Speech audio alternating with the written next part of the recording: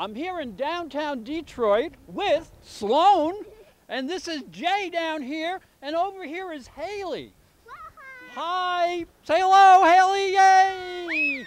And we're down here because we're telling you all about Mars. Mars is going to start the new year really moving along, and then he slows down in mid January and goes retrograde. It's like driving backwards. And that's why we're in Detroit, the Motor City.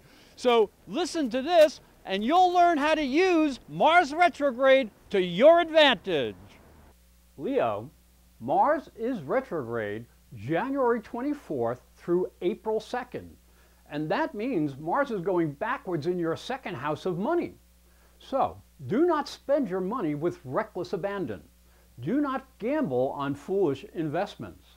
Do not be selfish with your resources. And do not limit yourself through self-doubt.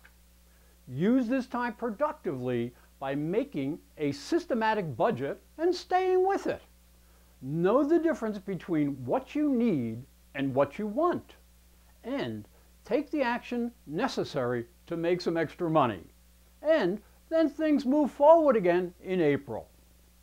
It's cold here in downtown Detroit, but if you want to learn more about your year to come, 2012, then all you have to do is go to my website, professorastrology.com, go to the personal services page, and you'll be able to find your way of getting a transit chart based on your time, date, and place of birth. And remember, this is Haley, this is Jay, and this is Sloan, and they're great kids. Yay!